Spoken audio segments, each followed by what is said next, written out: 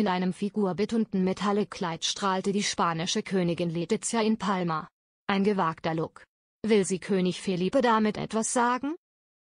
Bei mildem mallorquinischen Wetter fand am Sonntagabend im Innenhof des Misericordia-Komplexus in Palma die Abschlussgala des Atlantida Mallorca Filmfestivals statt.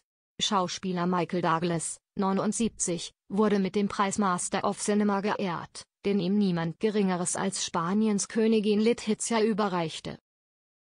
Ich habe ja bereits einige Preise bekommen, aber noch nie durfte ich einen von einer Königin entgegennehmen, sagte er zu Bild. Wow-Auftritt in ihrem eng geschnittenen Metallic-Kleid mit Riemchensandalen und einer mit Pailletten besetzten Handtasche sah die Frau von König Felipe, 56, fast selbst wie ein Hollywood-Star aus. Der Look dürfte Royal-Kenner allerdings überraschen, kennt man die Königin normalerweise nur mit hochgeschlossenen und sehr klassischen Outfits. Möchte Letizia mit ihrer Kleiderwahl etwas mitteilen? Königin Letizia sei im Palast isoliert, Felipe war an diesem Abend zwar ebenfalls auf Mallorca, absolvierte jedoch das erste Training für die Segelregatta Copa del Rey. Berichten von spanischen Medien zufolge soll die Ehe der beiden am Ende sein. Letizia werden mehrere Affären nachgesagt und auch Felipe soll seine Frau während ihrer Ehe betrogen haben.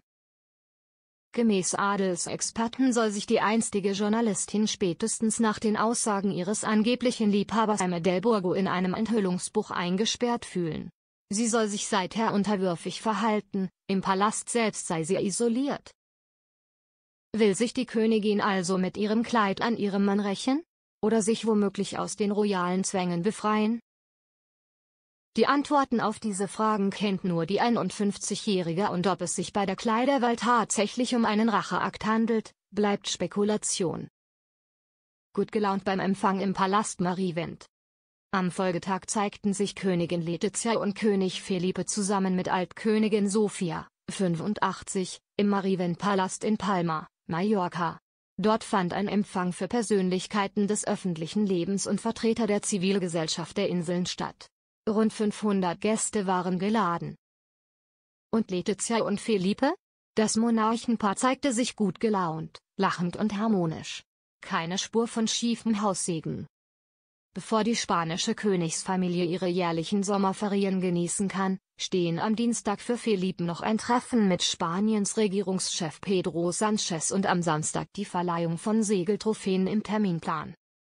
Von royalen Ferien wird aber in der Regel wenig bis nichts bekannt gegeben, auch den offiziellen Beginn teilt das Königshaus meist nicht mit.